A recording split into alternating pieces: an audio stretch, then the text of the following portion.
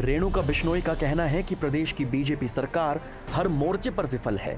प्रदेश में चारों तरफ़ भय और भ्रष्टाचार का आलम है और ऐसे में कांग्रेस पार्टी का प्रयास है कि प्रदेश में भय मुक्त प्रशासन स्थापित किया जा सके। दरअसल आज उड़ान फाउंडेशन जुलाना द्वारा शहीद दिवस पर जुलाना की ब्राह्मण धर्मशाला में एक सम्मान समारोह का आयोजन किया गया था। इस समारोह में हांसी की विधायक रेणुका बिश्नोई भी बतौर मुख्य अतिथि पहुँची थी। इस दौरान पत्रकारों से बातचीत करते हुए ही हांसी की विधायिका रेणुका बिश्नोई ने प्रदेश सरकार को जमकर कोसा। वहीं प्रदेश कांग्रेस में चल रही गुटबाजी के सवाल पर रेणुका बिश्नोई ने कहा कि कांग्रेस में किसी तरह की गुटबाजी नहीं है।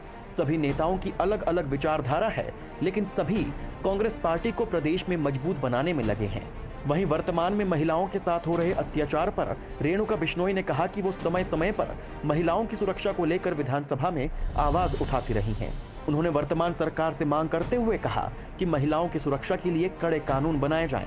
वहीं इस सम्मान समारोह में रेणुका बिश्नोई ने जुलाना हल्के के समाज सेवियों खिलाड़ियों और शिक्षा के क्षेत्र में सराहनीय काम करने वाले छात्र छात्राओं पत्रकारों और अध्यापकों को सम्मानित किया। रेणुका बिश्नोई ने कहा कि आज उनके लिए और समस्त देश के लिए सौभाग्य की बात है कि जिन शहीदों ने अपने प्राणों की आहुति देकर हम सभी को आज़ादी दिलवाई, आज उनके सम्मान में उन्हें श्रद्धांजलि अर्पित कर रहे हैं।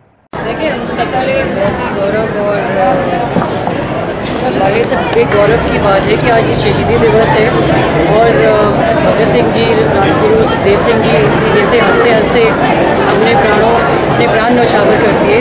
आज हम जो आज़ादी की सांस ले रहे हैं ये सब हम उनके लिए उनके ऋणी हैं तो मैं समझती हूँ आज का दिन एक बहुत ही महत्वपूर्ण दिन हम सबके लिए है और इस में किस तरह के को देना चाहते हैं जहाँ पर सभी वर्गों का साथ लेकर और भयमुक्त हम प्रशासन दे पाए।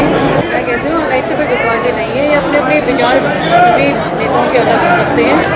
लेकिन कांग्रेस पार्टी एकजुट होकर अगली सरकार अवश्य बनाएगी, ये मैं दावे के साथ महिला होने के नाते भी मैंने समय समय पर हमेशा विधानसभा में भी महिलाओं की सुरक्षा के लिए बहुत बार आवाज़ उठाई है, क्योंकि यहाँ पर महिलाओं के प्रति जो अत्याचार हो रहे हैं वो काबू आने का प्रयास सत्य खबर के लिए जुलाना से जयबीर सिंह की रिपोर्ट। आप देख रहे हैं सत्य खबर।